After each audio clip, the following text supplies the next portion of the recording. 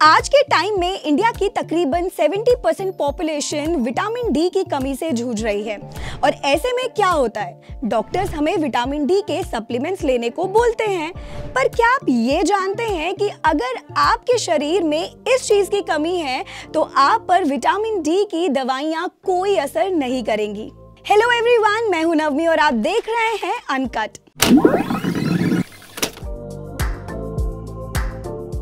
भारत की अलग अलग हेल्थ लैब से मिले डेटा के मुताबिक आज के समय में हमारे देश में हर चार में से तीन लोगों को विटामिन डी की कमी है।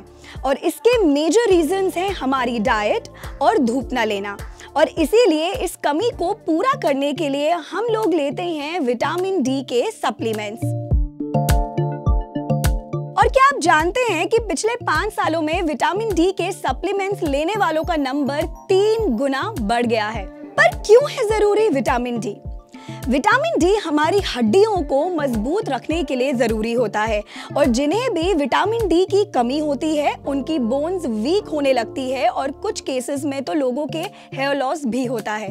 लेकिन अब एक नई रिसर्च के थ्रू ये पता चला है कि जो लोग इस कमी को पूरा करने के लिए विटामिन डी के सप्लीमेंट्स ले रहे हैं, उनको भी कुछ फ़ायदा नहीं मिल रहा। पर हाँ ये सिर्फ़ उन्हीं लोगों में है जिनकी बॉडी में मैग्नीशियम की कमी है। हार्वर्ड के T H Chan School of Public Health की लेटेस्ट रिसर्च से ये पता चला है कि अगर आपकी बॉडी में मैग्नीशियम की कमी है तो विटामिन डी के सप्लीमेंट्स का कोई भी फ़ायदा आपको नहीं मिलेगा। इनफैक्ट इसको लेने से आपके शरीर में कैल्शियम और फॉस्फोरस का लेवल बढ़ जाता है, जिससे कि किडनी और हार्ट से रिलेटेड प्रॉब्लम्स हो सकती हैं। आपको बता दूँ, मैग्नीशियम, लिवर और किडनी के प्रॉपर फ़ंक्शन के लिए बहुत ज़रूरी होता है।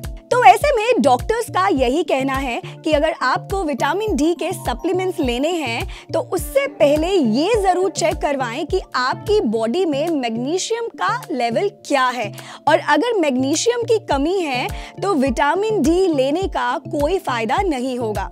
आपको ये भी बता दूँ कि जिस तरह विटामिन डी हड्डियों के लिए ज़रूरी होता है, उसी तरह मैग्नीशियम भी बोन्स की हेल्थ एंड ग्रोथ के लिए बहुत इंपॉर्टेंट है। बॉडी में मैग्नीशियम की कमी के कुछ सिम्टम्स हैं। भूख कम लगना, हमेशा थका थका हुआ फील करना या नीज में पेन होना। तो इसीलिए इसका टेस्ट करवाना बहुत ज़रूरी है। अगर आपकी बॉडी का मैग्नीशियम लेवल 1.7 से 2.2 मिलीग्राम पर डेसीलीटर है तो इट इज़ नॉर्मल पर अगर ये इस लेवल से कम है तो आप डॉक्टर को ज़रूर कंसल्ट करें। आपको ये वीडियो कैसा लगा, हमें कॉमेंट्स में ज़रूर बताएँ और देखते रहें अनकट